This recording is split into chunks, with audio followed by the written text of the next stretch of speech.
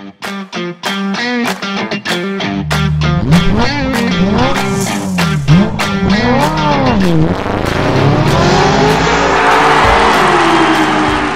家好，我叫何伟全，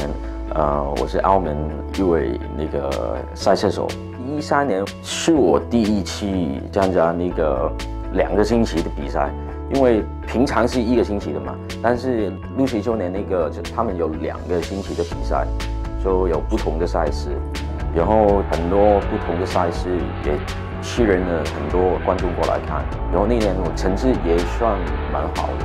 把我的那个赛车生涯推到呃半职业，因为我平常是有自己的工作，房车赛那个成绩，然后把我带进中国呃纺车赛，在世界各地不是很多街道那个澳门就是其中一个，它的条件就是不容许车手们去做错什么事情，一一做错就会撞。其实每一天那个路面那个情况都不一样的，所以每一天他们一起出去的时候都会呃要要学习一个新的跑路。为什么每一年在普京那个那个看台都很多观众在那边看？因为他们经过一个高速那个弯度，然后到达那个普京湾那个位置嘛，然后他们就会看谁进那个东方那个时候的速度比较快。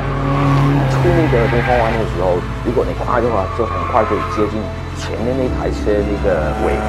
然后在刹车的时候再抽出来，然后就可以在那个刹车的时候把他们走。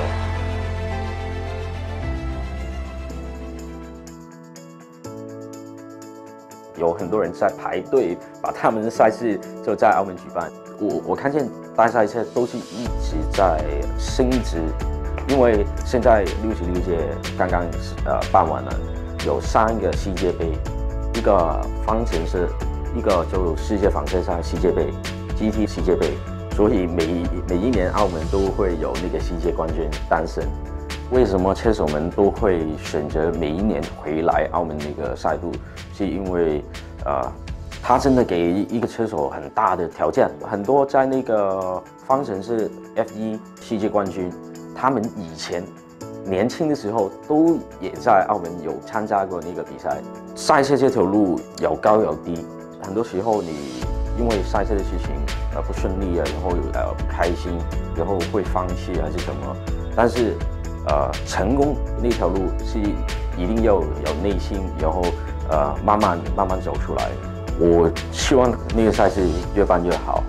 对澳门车手来讲，都是给他们一个很好的平台去发挥自己的实力，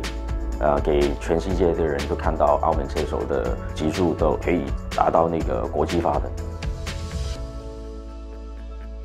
新中国成立七十周年。跟澳门回归二十周年，在这里我祝祖国繁荣昌盛，澳门越来越好。